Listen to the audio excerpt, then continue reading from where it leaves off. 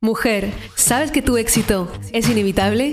Si tienes sueños para cumplir, si quieres llegar al siguiente nivel en tu vida, tus relaciones y tus finanzas, estás en el lugar correcto. Acompaño a miles de mujeres en más de 30 países a manifestar vidas extraordinarias. Mi nombre es Maite Isa, soy coach experta en manifestación y he creado un emprendimiento de 7 cifras partiendo de cero. Mi obsesión es darte todas las herramientas, la inspiración y la transformación que necesitas para crear una vida de abundancia ilimitada. ¿Estás lista? Empezamos.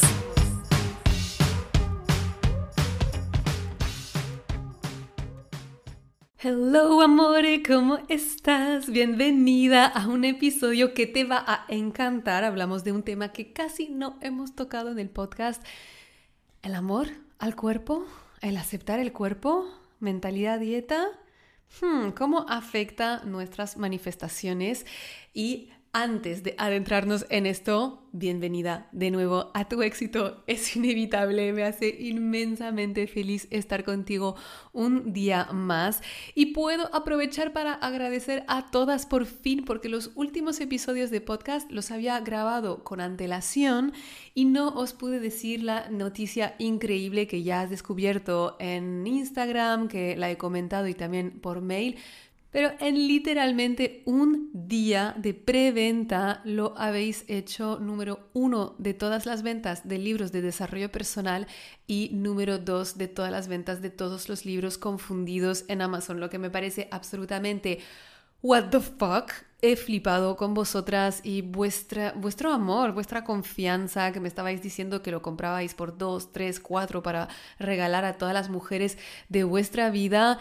Y esto es un regalazo. Incluso la editorial me dijeron que de manera inédita estaban imprimiendo de emergencia miles de ejemplares más para poder hacer frente a todo este entusiasmo y todas estas ganas de leer lo que he escrito con todas las ganas y la esperanza y la confianza del mundo que podría cambiar la vida a cuantas más mujeres posible. Así que te quiero agradecer por hacer parte de este cambio planetario que estamos haciendo porque realmente yo veo la manifestación como una revolución desde la abundancia para más abundancia, porque ya sabes lo que yo creo firmemente es que no se sana la escasez con más escasez y tenemos que tener este valor de ira por lo que queremos y estoy de verdad honrada de poder acompañarte en tu camino a manifestar más y más y más milagros en tu vida. Quería tomarme el tiempo de agradecer porque me parece un milagro y sobre todo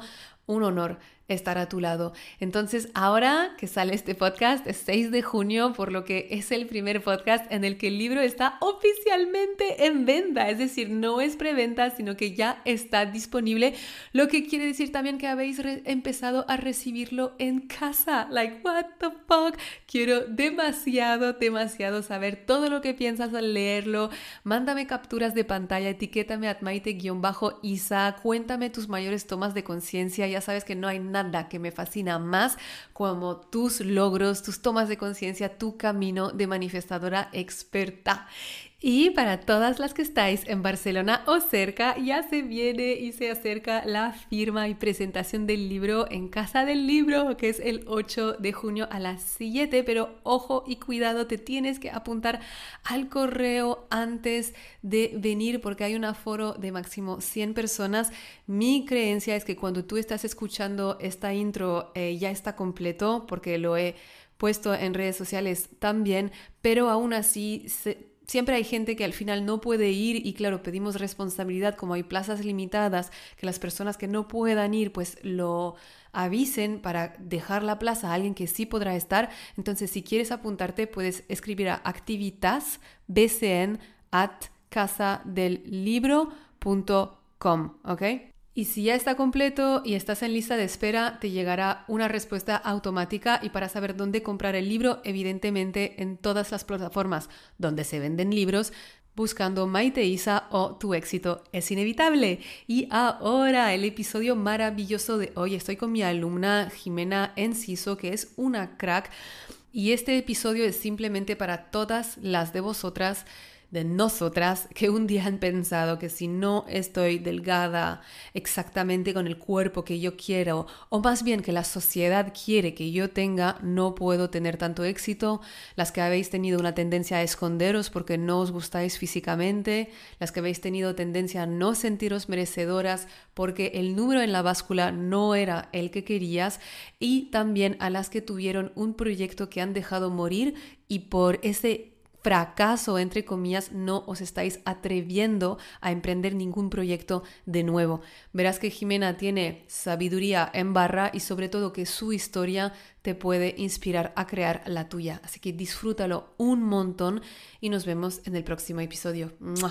Jimena, bienvenida al podcast. Tu éxito es inevitable. ¿Cómo estás? Hola Maite, muy bien, muy emocionada, feliz de estar contigo. De verdad que todo el honor es mío y me hace muchísima ilusión lo que decías justo antes de que entremos en esta entrevista, que para ti realmente era un propósito desde las primeras veces que escuchabas el podcast, ¿cierto? Sí, sí, sí. De hecho, al escuchar este, en los momentos más difíciles de mi vida, escuchar a tantas alumnas cómo lograron transformar sus vidas, el simple hecho de yo imaginar que algún día pudiera ser parte de, esa alumna en tu podcast era en ese momento inalcanzable y ahora estoy aquí, es mágico. Como la vida nos sorprende, ¿verdad? O sea, me alegro demasiado que hayas manifestado algo que pensabas imposible y todo lo que has logrado me parece súper inspirador y a todas las que nos están escuchando. Os vamos a presentar Jimena. Jimena, ¿dónde estás? Cómo te llamas, ya lo sabemos, pero cuéntanos un poquito más de ti y lo que te empujó a querer aprender a manifestar dinero, pero realmente abundancia en todas las áreas de tu vida. Sí, bueno, soy Jimena Enciso, yo vivo, soy de México, en Durango, Durango. Lo que me llevó a, bueno, en realidad lo que me trajo a todo este camino es una gran batalla que siempre he tenido en mi vida, que es el peso. Entonces, eh, es, es maravilloso cómo funciona el universo, que por una situación tan desagradable en mi vida fue la que me trajo y me jaló a conocerte y a transformar mi idea de vida, de abundancia, de... Lo wow, a ver, espera, ¿cómo que el peso te llegó a la abundancia? Porque eso me da mucha curiosidad. Sí, sí, o sea, el peso, el sobrepeso y todo eso en mi mente, ahorita me doy cuenta ya de todas las creencias limitantes que tenía, es que yo creía que solamente siendo delgada podía tener éxito, podía ser abundante, podía tener relación de, una pareja bonita. Entonces me sentía como estancada. Hasta que no lograra ser delgada, no iba a poder tener nada. Wow, gracias por compartir esto, porque tantas de nosotras hemos estado o estamos en este camino de aceptación corporal y tal vez lo sabes, pero para mí ha sido lo primero que yo he hecho como coach era trabajar esta autoestima corporal y el saber que tu historia de presión corporal te llevó a, derrumbar una creencia que solo si soy delgada tengo éxito, me llena el corazón y creo que es un ejemplo maravilloso para tantas, tantas, tantas mujeres que ponemos nuestra vida en pausa hasta que la báscula nos dé permiso para ir a por lo que queremos. O sea, me parece fantástico. Entonces, a través de esta búsqueda, para, era una búsqueda como para estar mejor contigo, más allá del peso, o ha sido casualidad que ahí encontraste en las redes algo de manifestación. De hecho, o sea, mi idea siempre nada más era, toda mi energía estaba destinada nada más al peso. Claro. me llegó en, en, Facebook el mujer, un congreso de mujer libre de dietas, mm. y fue ahí donde te conocí. ¡Qué maravilla! Casualmente, de todas las panelistas que estaban, tú fuiste la que me hizo clic, o sea, tuve clic contigo y con la meditación que compartiste, que regalaste en esa ocasión, que de autoestima y autoconfianza, no me hizo llorar, me hizo todo, todo, todo, todo. Y a ¡Qué maravilla! ya, es increíble, es me encanta cómo te guía la mente subconsciente y el universo, porque tú crees que vas a ir ahí a algo donde, bueno, ya es verdad que en sí el Congreso era libre de dietas, ya tenías la mentalidad de dejar las dietas, ¿no? Pero es como esta sorpresa que realmente yo no hablo ni siquiera, ¿no? De autoestima corporal más. Es como un tema completamente diferente que es el con el que conectaste y al final te ayudó también a estar trabajando este odio al cuerpo. Es que es maravilloso como la vida a veces te, te trae por otro camino para que al final regreses a lo que quieres o realmente llegues a lo que quieres, que es estar bien contigo misma, o sea, peso o no peso, porque esto es lo de menos.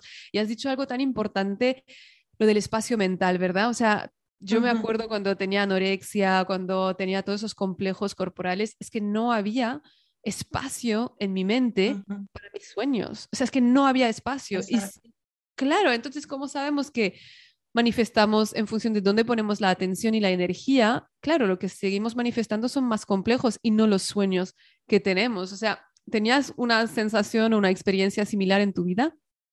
Claro, sí, sí, totalmente. No podía, ahorita ya me doy cuenta cómo desde entonces uno sigue manifestando pero lo que estamos pensando en ese momento era eso, todo giraba en torno al peso. Entonces no podía, en mi mente no cabía otra posibilidad de yo poder tener éxito, de, de, pensar siquiera en mis sueños, porque todo el día era nada más, este, qué dieta voy a hacer, cómo voy a bajar de peso, el que no tenga confianza. De hecho, por eso te digo, o sea, para mí era algo impensable, inalcanzable, el yo dejarme ver eh, así a través de, de, Zoom ahorita de contigo. Wow. Ese, ese entonces en las entrevistas de, con, en vivo, era irreal, era, no, no, no, no tenía yo la confianza de, de hacerlo. Wow, y eso claramente se reflejaba en tus finanzas. Claro, totalmente. ¿Y cómo se reflejaba? Entonces tú decías que, bueno, a los 30 no tenías, ¿no? La, la, el lugar donde querías en la sociedad, porque si tú te haces más pequeña, evidentemente tampoco es que vas a ni crear un proyecto, ni venderte, ¿no? En los trabajos, o sea, es como que todo, todo es un freno a nivel económico que seguramente muchas se podrán em, identificar cómo eso te bloqueaba y qué era esa realidad que habías manifestado en torno a, la economía. Sí, de hecho, este, yo ya tenía años atrás que yo quería ya sacar una línea para el cuidado de, la piel y la saqué, pero no creía 100% en mí, entonces no le di lo suficientemente mi, mi, atención, mi cariño, y se quedó ahí como parado, o sea, no tenía ventas, no, nadie le hacía caso, yo me sentía como igual, o sea, como que atraía a mi vida situaciones que me reforzaban que sí es cierto, que no iba a tener éxito porque no me sentía delgada, no me sentía lo suficientemente preparada, poderosa para poderlo hacer. Y sí, justamente no vendí, eh, fracasó, entonces otra vez este, mm. recurrir a mis padres con su ayuda y igual ese círculo vicioso. Claro, en la que realmente tú querías ser eh, independiente financieramente de tus padres y has dicho algo tan importante que es, he tomado los pasos, ¿no? He tomado los pasos para sacar mi línea de productos para la piel, pero dentro la mujer que era la que hacía la acción no era esa emprendedora exitosa, ¿no? Entonces, claro, la acción en sí no tiene ningún poder, es la persona que hace la acción la que le da todo el poder. Buenísimo, y eso es que me parece tan bonito porque, claro, luego has vuelto a crear este proyecto con otros resultados. Me parece tan bonito ver cómo tú tu intuición estaba en el lugar correcto desde el inicio, no era la idea el problema, no era el cuidado de la piel, que muchas personas, y sé muchas que nos escuchan, de hecho ayer teníamos una llamada con las alumnas, ayer en el momento que estamos grabando este podcast, ¿no? En el que sale, estábamos grabando, eh, teniendo, ¿sabes? Esta reunión semanal que tenemos con todas las alumnas de Eres un imán para el dinero. Y, y, una decía, claro, es que tengo emprendimientos que no han funcionado en el pasado, pero son los que me motivan. Pero ¿cómo puedo saber que ahora, si vuelvo a empezar, me funcionarán? Y tú eres el ejemplo claro, que el problema no es la temática, ni siquiera es la acción.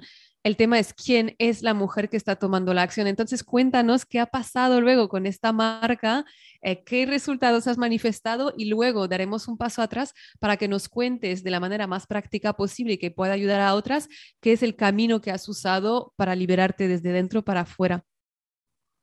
Pues bueno, ahorita de, esa marca de, cremas se llama Prove en Cremas. ¿Cómo, cómo? Eh, se llama Prove, en Cremas Probé línea en cremas. Probé linen cremas, buenísimo. Sí, y este, bueno, logré manifestar 14 distribuidoras en diferentes ciudades de México. Es, que esto me parece increíble. sí.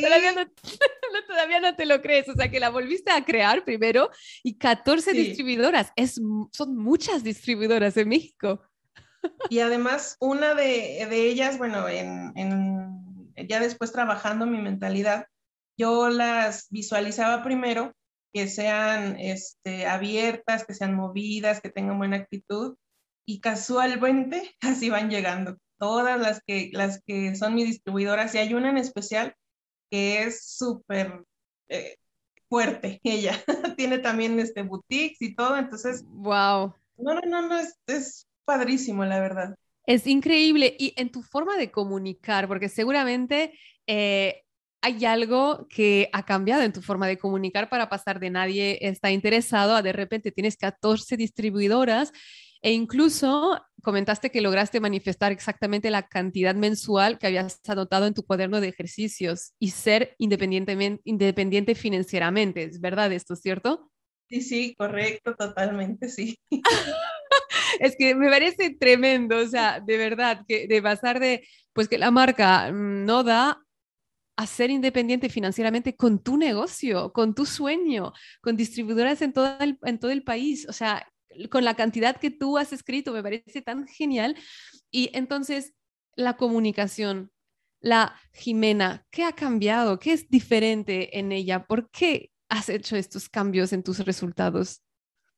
Ay, pues lo más importante es el merecimiento. Encontré el amor propio y supe que merezco todo lo bueno independientemente de cómo luce mi cuerpo.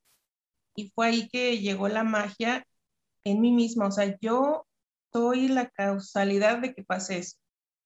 Entonces, este, sí, sí es un trabajo interno, sí es un cambio de creencias, es encontrar ese merecimiento y de verdad que todo lo demás va llegando wow. Eh, poco a poco, bueno, no poco a poco, día a día, y así sucede la magia.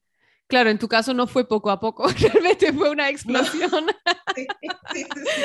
No. es muy poco a poco en tu caso. Y es genial lo que dices. Yo tengo una pregunta porque la temática, además del cuerpo, es una que no hemos tocado en ninguna entrevista de alumna y, y sé que toca a muchas mujeres y por eso estoy súper feliz de hacer esta entrevista contigo. ha habido un momento, un clic, un algo en el que has decidido, que ahora soy merecedora, sea como sea, eh, luzca mi cuerpo. ¿Te acuerdas de ese momento o ha sido como más gradual? Si tuvieras que darle un, consejo o, un, compartir tu experiencia con alguien que está en este camino de la aceptación corporal, ¿qué le dirías? ¿Cómo empezar? ¿Qué hacía? Sí. A mí lo que me funcionó mucho es este, de los consejos que tú nos compartes, el, aunque al principio no lo creas al 100%, es como empezar a, como si fueras en una obra de teatro, que tú te crees eh, poderosa, que tú te crees segura. Igual eh, me empecé como a cambiar el estilo de ropa y decir, bueno, hoy eh, voy a, a, a, fijarme más en lo que sí me gusta. No sé, por ejemplo, igual y este, el cabello o tengo, puedo elegir ropa que me haga sentir cómoda. Entonces hoy voy a salir segura de mí misma, si me saludan voy a sonreír, porque también era el hecho de no querer verme, que no me vean, esconderme. Entonces, bueno, hoy este, voy a sonreír si pasa una persona, la voy a saludar. En lugar de que ella me salude, yo la voy a saludar. Entonces, empecé así, eh, día a día, eh, con, este, con esos objetivos pequeños, porque también si, si me ponía objetivos muy pesados, pues no, no lo iba a lograr. Entonces me di cuenta que después ya empezaba a salir natural ya natural de mí, ya saludaba, me sentía más segura. De hecho, mis conocidas, mis amigas, mi familia me empezaba a decir qué me pasaba, que me veía distinta, a pesar de no haber bajado ni un solo kilo. Ah.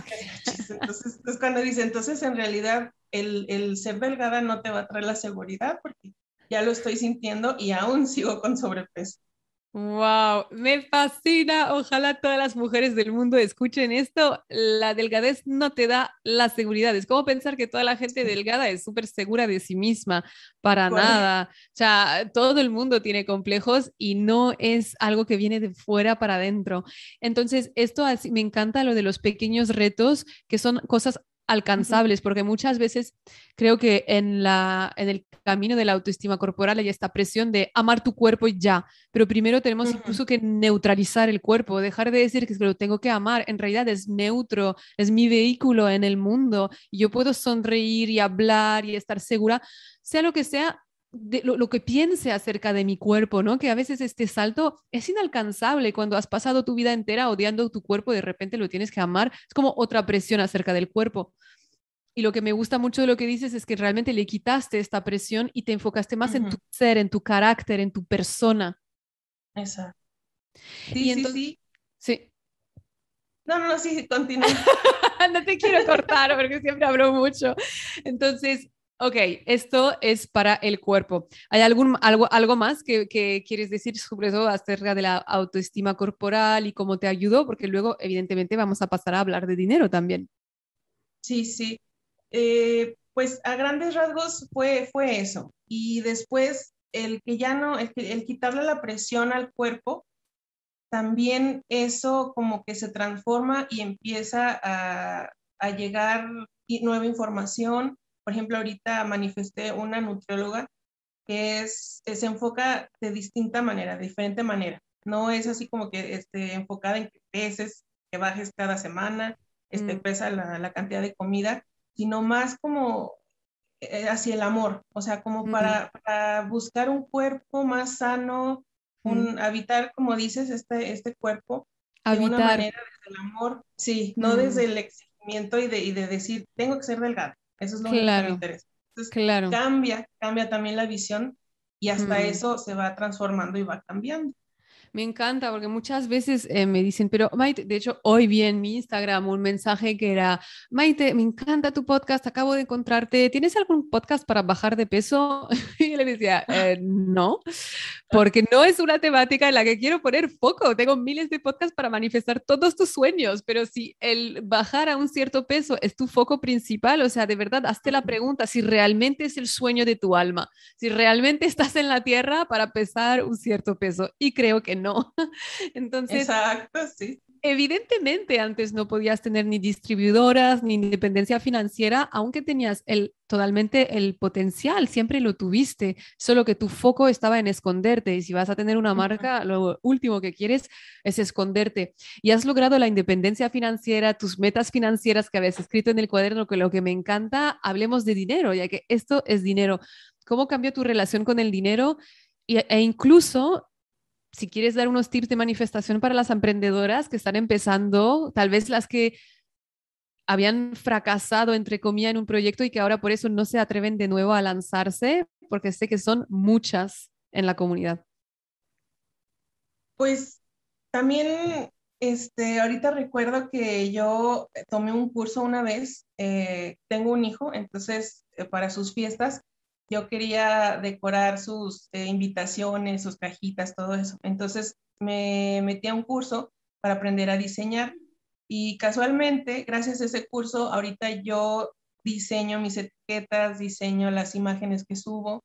Entonces, eh, el como, como poder, el que no se entres como que, esa presión de que a fuerza tienes que, con quién me va a diseñar, este, necesito mucho, mucho equipo de personas tras de mí para que me ayuden, porque si no, sola es mucho trabajo. Entonces, como que es liberar. O sea, lo que, si a ti te gusta lo que haces, las cositas se van a ir dando y acomodando solas.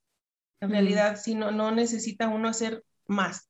Solamente eh, se van a ir solucionando y llegando solas por ellas mismas. ¿Y cómo dejaste el miedo a emprender algo en el que ya habías, entre comillas, fracasado? ¿Qué te dio el valor de volver a, crearlo? Ahorita recuerdo también que llegó una persona a mi vida, una chica, que ella elaboraba mascarillas. Nada más que era muy inconstante. O sea, me, me decía que iba a llegar y no llegaba. Entonces como que me entró otra vez esa emoción de decir, bueno, igual y yo puedo diseñar las mascarillas sin necesidad de, depender de ella porque no viene, me, queda mal. Entonces como que volví a, estudiar, volví a ver las mascarillas, volví a ver más productos y me volví esa chispa ahora de diferente manera. Ahora mm. segura de que iba a funcionar, segura de que estaba por el camino correcto y lo que cambió en mí fue el poner mi corazón en ello. Hmm. Entonces, eso fue el cambio. Claro, porque tu corazón ya estaba disponible, porque si tú te odias por dentro, donde está el corazón? No hay, y realmente el corazón es el imán más potente de manifestación de nuestro cuerpo. Y claro, cuando él está colocado en el odio a, nuestra, a nosotras mismas, pues no está en nuestros proyectos. Y me encanta lo que has dicho, que te vino una persona con la que realmente no te gustaba trabajar. Y creo que eso es muy importante para todas las chicas que tal vez tengan un emprendimiento, incluso las que no, pero cualquier proyecto que quieras desarrollar y que a veces interpretan el hecho de que te venga alguien que no te gusta cómo trabaja o que no te satisface y pensamos que esto o es una señal del universo de abandonar, o es señal de que no estamos en el buen camino, o lo vemos con mucha frustración. Y en tu caso es lo que te permitió volver a conectar con lo que, hombre, si ella lo hace así, yo puedo hacerlo mejor y lo voy a hacer y con la seguridad, tal vez incluso el ejemplo de esta persona te enseñó cómo no querías hacerlo y cómo tú lo podías hacer mejor. ¿Verdad? Y esto, esto es genial porque a mí las, eh, las experiencias así como entre comillas negativas, son las que realmente me enseñaron, ok, ¿cómo quiero yo liderar mi comunidad, mi negocio, todas las enseñanzas que comparto y cómo no lo quiero hacer? Y a veces el cómo no lo quiero hacer es lo que más necesitamos para saber por qué aprendemos en la dualidad. Entonces, ahora regresando eh, al dinero, que al final hemos hablado poquísimo de dinero, pero es que me pareció fascinante e, el, tema, el tema autoestima corporal. El dinero. ¿Cuáles eran tus creencias acerca del dinero y cómo y cómo eh, para qué otras creencias las cambiaste? Fíjate que en mi familia siempre mis papás han sido de, la idea de para tener dinero hay que emprender, que de un trabajo eh, no, no puedes como generar mucha riqueza. Pero también descubrí que existía un miedo al tener demasiado como que te hmm. podían secuestrar, podías este, atraer personas que quieran abusar de ti, que no sean leales. Claro. Entonces, esas creencias sí las tenía muy arraigadas y también que eran por temporadas. Este, temporada alta sí vendes, pero temporada baja no. Claro. Entonces, este, esas, esas creencias son las que fui demoliendo y también el miedo a hacerlo sola. Siempre ah. decía yo que necesitaba de mis padres para poder hacer. Wow, claro y conjuntamente con la creencia de que si no soy delgada no tendré éxito, que esa es como toda esta bola de creencias. ¿Y cuáles son tus nuevas creencias? Las nuevas creencias que crearon todas las manifestaciones que tuviste desde ese momento. Primero, que el tener abundancia es seguridad. Esa creo mm. que fue la más importante porque sí, sí notaba yo que era mucho miedo el, el, que atrayeras personas que quieren, te quieren este, secuestrar, que quieren, ¿cómo se dice la palabra? Transear, ¿sí? La conocen transear? Entonces, eh, cuando yo cambié esas creencias fue cuando ya empecé a ver cómo llegaba el dinero, porque yo ya lo creía así, ya lo sentía seguro y, pues, y me daba permiso de tener abundancia. Me parece genial y ahora que estoy mirando tus notas me doy cuenta que que, las 14 ciudades en las que distribuyen tus productos fue en menos de un año. O sea, brutal, brutal. Y te felicito mil veces más. Antes de cerrar este episodio que me ha parecido súper inspirador, ¿hay algo que le quieras decir a todas las mujeres que nos están escuchando? Que aprendan a disfrutar lo que hacen, que no se enfoquen en el resultado cuando ustedes sueltan esa presión de cuánto y cuándo voy a conseguir lo que quiero, que aprendan a disfrutar el proceso. Todo el proceso, si bien este puede ser malo o bueno, el disfrute es lo que trae la diferencia en tu vida. Total. Y así sucede la nada más que añadir, de verdad. Muchísimas gracias, Jimena, por estar aquí conmigo y con la comunidad durante este gran episodio. Gracias a todas por juntaros con nosotras. Espero que lo hayáis disfrutado tanto como nosotras grabando y os veo en el próximo episodio. Un mega abrazo. Gracias, Maite. Nos vemos. Bye. Muchísimas gracias por escuchar este episodio. Si te encantó lo que escuchaste y quieres más, puedes descargar el audio de los tres pasos para manifestar todos tus sueños gratuitamente en mi página web maiteisa.com. También, si lo sientes, déjame una reseña en iTunes y no te olvides de conectar conmigo en mi Instagram a maite-isa. Nos vemos pronto. Recuerda, tu éxito es inevitable y siempre estás en el buen camino.